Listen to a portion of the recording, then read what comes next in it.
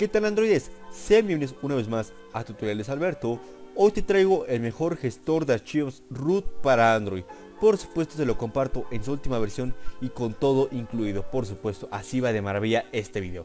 Hoy te quiero mencionar que este gestor de archivos es de los más populares que te puedas encontrar para Android y si tú ya lo conocías comenta en la parte de aquí abajo para que te comparta otro mejor gestor de archivos root.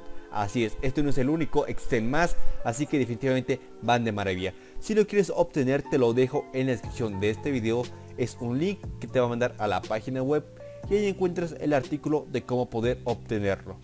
Este es el gestor de archivos que les comentaba, Root Explorer, ya muy antiguo por así decir, pero se ha rediseñado un poquito a la nueva era, por decir un poco más minimalista. Aquí les quiero explicar brevemente para los que no conocen este tipo de gestor de archivos.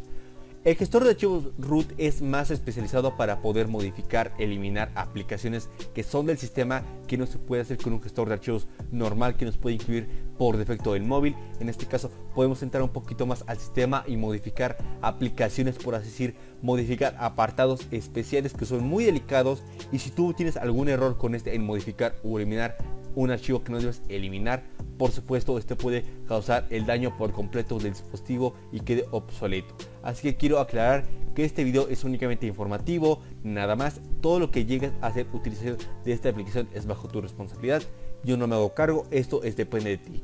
Para poder utilizar la aplicación debes de ser usuario root, por supuesto, si no eres root no te va a dejar utilizar esta aplicación en este caso eh, yo no soy root, únicamente les enseño cómo es que puedes estar navegando aquí, puedes hacer utilización igualmente puedes usar lo que es el almacenamiento interno, entrar a la red del dispositivo y si tienes una tarjeta SD igualmente lo puedes utilizar, pero únicamente quiero hacerles mención de este gestor de archivos nada más.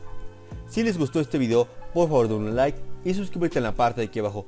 Yo soy Alberto Martínez y nos vemos en un próximo video. Adiós.